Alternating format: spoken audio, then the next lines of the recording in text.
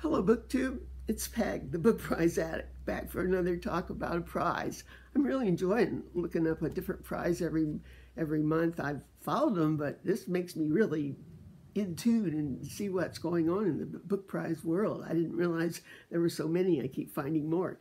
Anyway, uh, before I start, I must say, I'm not. This is not a knitting channel anymore. I'm on a knitting slump, but this is a shawl I made during my COVID uh, reading slump. I could knit, so it, it, kind of uses every color in the rainbow. It's kind of wild. It's just Stephen West design, if any of you are knitters, and he's a little wild.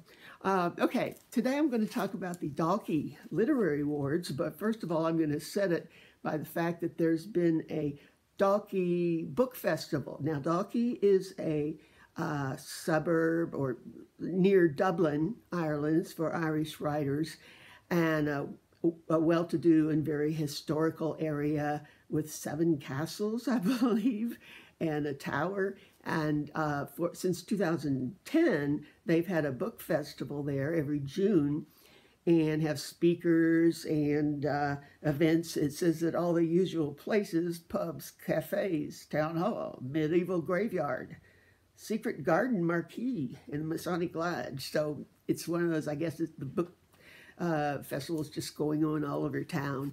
Uh, and uh, I did, I, am going to put in my thumbnail, but I do have like a picture of Dalkey, and this is the tower they're talking about um, that they meet in. It doesn't look like something you meet in, but I don't know. I don't know if it's a tower from James Joyce Ulysses that the men are in on the first chapter or not, but I'd love to go to this. And it's going to be, for sure, the uh, 16th through 19th of June, and they're surely going to have it this year for the first two years, I guess. Um, actually, the book prize itself just started uh, in two years ago, 2020, they decided to have a book prize, a book award for Irish writers. Um, and unfortunately, the last two years have been called off.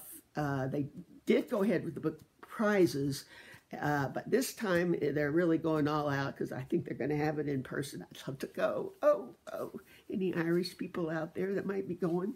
Um, okay, so um, as I said, this is for um, writers born or living in Ireland. I don't know how long you have to live there or whatever, but anyway.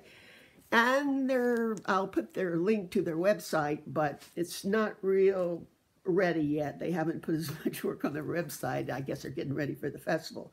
I do have the book list there for uh, last year's and uh, to give you an idea of what kind of books they are. And uh, they have two different categories, emerging writer or debut and a, a novel of the year. Uh, so I'm just going to take a look. I happen to have some of the books from last year's. Uh, one of the, from the emerging writer was As You Were by Elaine Feely, and it Feeney, and it has won a lot of prizes. I don't think I'm not sure if it's even published in the U.S. yet. I treated myself around Christmas time to some books uh, that had been published uh, already in England or Ireland, um, and this was one of them. But this is really a wild and crazy book, but interesting uh, in the way it's done. The narrator is a woman in a dilapidated hospital um, it's unsure exactly what's wrong with her, but whatever it is, she's not talking about it and hasn't told her family. They just know she's in the hospital. And the hospital has like eight beds, or the room she's in has eight beds. I'm not sure if there might be some men in some, some of them, but it's just a great scene that she sets with the other people, other families come in and visit. It's kind of almost like a little get together social thing and uh, it's just so real well done, seen through her eyes, and uh, I, I, I enjoy that kind of thing. Um, I'm not sure I'd like to be in that hospital though. Okay, so the uh, novel of the year, the one I liked best, I also happen to have, was Donal Ryan's Strange Flowers. He has won several other prizes for books, he novels he's written. He's been on the Booker long list twice for books, and uh, actually, I'm in the process of reading this now, and so I, I can't give you a spoiler, but it's actually um, about an Irish family with a 20 year old daughter in rural Ireland somewhere. And she just leaves on the bus one morning and doesn't come back. Now, you know, the whole town is looking for her. They don't know what's happened. I'm not even finished. I'm not even halfway through the book. I'm at that point.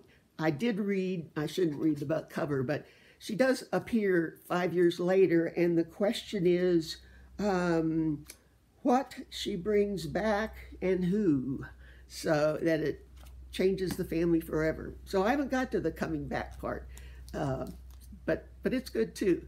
Okay, I'm to be back with uh, another book prize tomorrow and hope you guys, some of you guys can go to Dalkey, Ireland for this. I'd love to. Bye.